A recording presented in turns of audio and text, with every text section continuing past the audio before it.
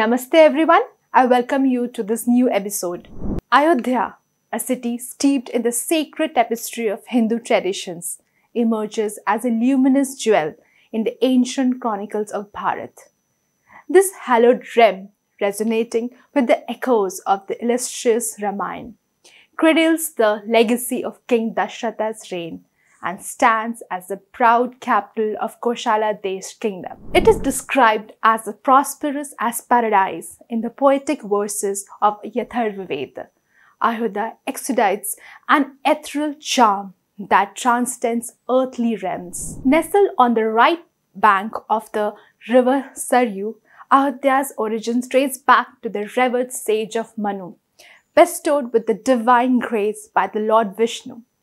In the annals of time, it was embraced by the radiant Surya dynasty of the Ikshvakus, evolving into one of the seven sacred cities of ancient Bharat, a testament to its spiritual significance as per as the Skand Purana. Beyond its Hindu sanctity, Ayodhya unfolds as a harmonious confluence of faith. Buddhists once find solace in his embrace as the Buddha himself graced its environs during his spiritual sojourns. Jainism too claims a profound connection with five Tirthankaras entering the world within Ayodhya's sacred precedence. Sikh gurus, including the Venerable Guru Nanak Dev, enrich its spiritual tapestry with their divine teachings. Ayodhya's allure transcends religious boundaries, beckoning with a cosmopolitan embrace. In 14 CE, the city etched its mark on the Korean chronicle Samguk. Yusa, recounting the tale of Suriratna, a local princess whose maritime journey to Korea echoes in the hearts of many South Koreans.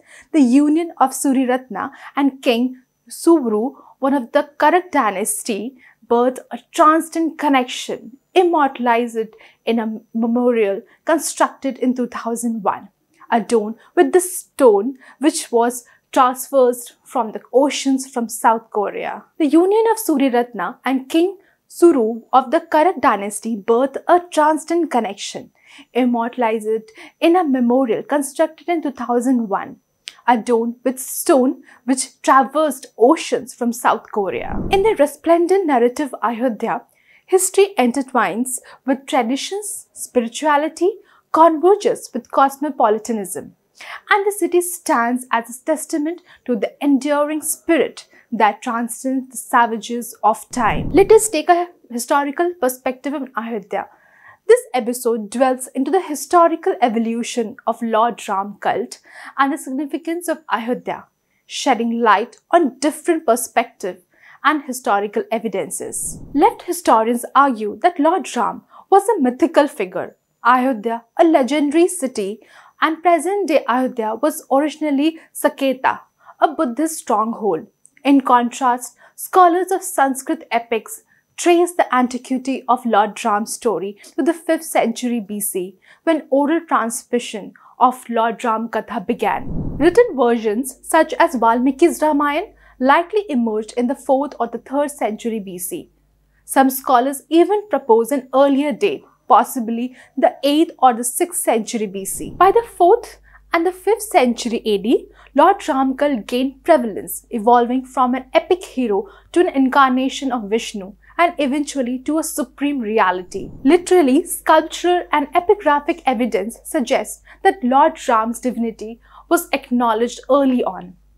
Though the temple cult took time to develop, Kalidasa, a prominent poet of the imperial Guptas, emphasized Lord Ram's divinity in the Raghuvamsha. Inscriptions from the 4th century AD, such as those of Prabhavati Gupta, indicate the existence of Lord Ram-centric sanctuaries. The Muslim invasions brought about a deep-seated connection between Lord Ram and resistance against the invaders. Gurjara ruling houses, such as the Mandor line, claim descendant from Lord Rama's brother Lakshmana's, emphasizing the duty to prevent intruders.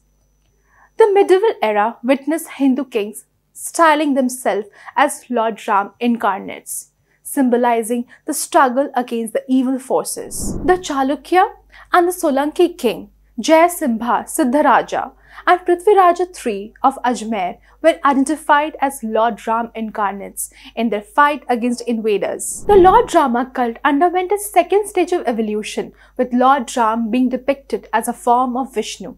Sculpture examples from Khajuraho from 950 to 970 and Osian near Jodhpur, 11th century AD, showcase Lord Ram holding the four emblems of Vishnu. Inscriptions confirm the prevalence of Lord Ram images in the Tamil region by the 10th century AD. Temples exclusively dedicated to Lord Ram, such as the one in Ayodhya, emerged, signaling the rise of Lord Ram worship across the country. Lord Ram devotion gained momentum during the medieval period, particularly after the Muslim invasions. Hemadri, a minister in the Yadava kingdom, provided liturgical instructions for the worshipping Lord Ram.